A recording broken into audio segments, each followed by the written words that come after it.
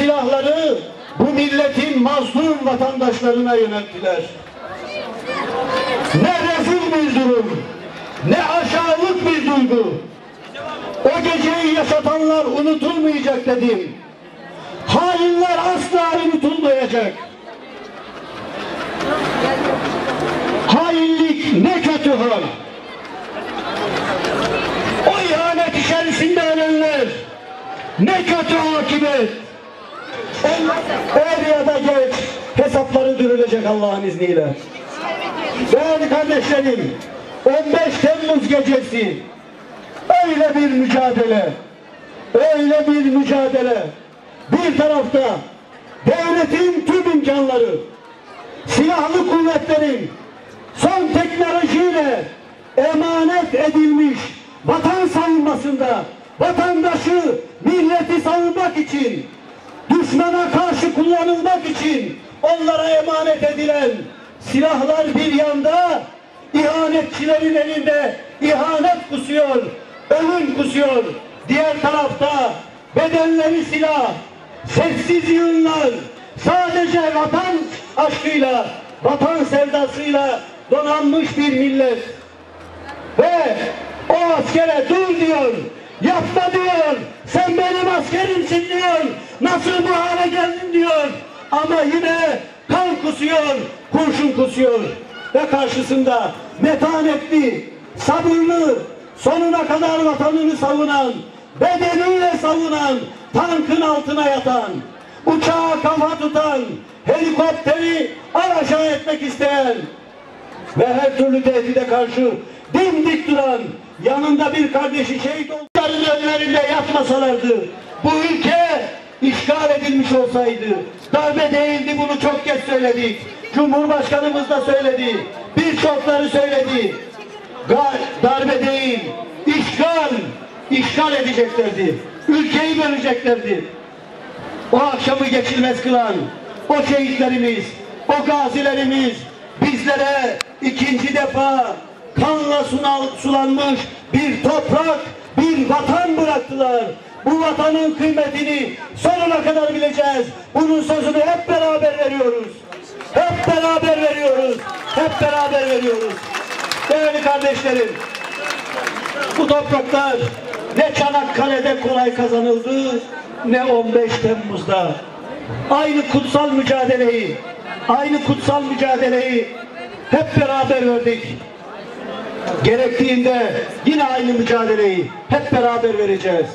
Siyasi partilerimizin genel başkanları, milletvekilleri orada bulunacak. Türkiye Büyük Millet Meclisi Başkanımız orada bulacak ve halka hitap edecek. Sayın Cumhurbaşkanımız, Başkomutanımız orada bulacak, bulunacak ve bizlere hitap edeceğiz. İç ve dış düşmanlarımıza şunu söyleyeceğiz. Biz zor durumlarda bir araya gelebiliriz, geliriz. Topunuzla, tüfeğinizle bizi yıkamazsınız. Çünkü biz kanımızla bu toprağı aldık. Kanımızı dökmeden bu toprağı bizden alamayacaksınız.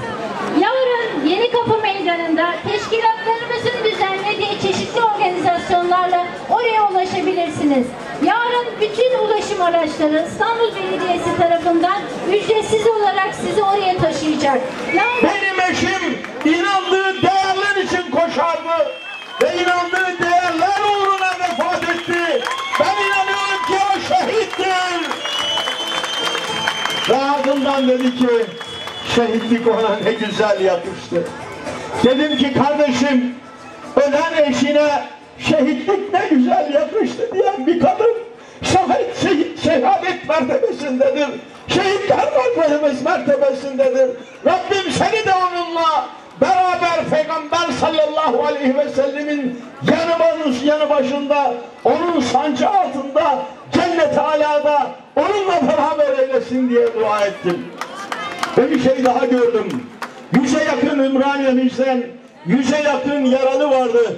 Çünkü Ümraniye ve Üsküdar ve özellikle Ümraniye Kısıklı'ya en yakın nokta olması hasebiyle Üsküdar'la beraber Boğaz Köprüsü'ne en yakın noktada olması hasebiyle saat 22.30'dan itibaren insanlar bir refleks halinde Boğaz Köprüsü'ne koştular. Cumhurbaşkanımızın ikametgahının bulunduğu Kısıklı Meydanı'na koştular. Ve dolayısıyla ilk şehadet şerbetini içenler o ilk koşanlar oldu. Onlar cennete ilk koşanlardı.